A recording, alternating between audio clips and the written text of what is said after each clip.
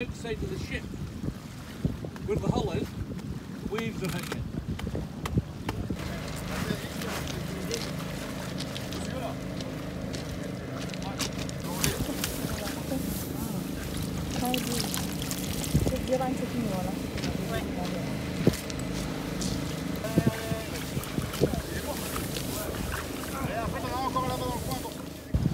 So uh, what we are currently doing in uh,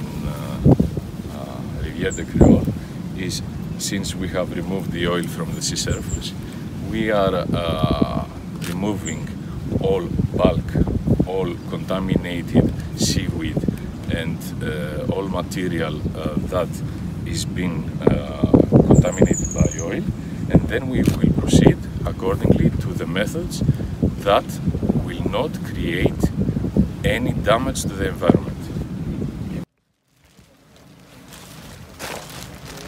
이어서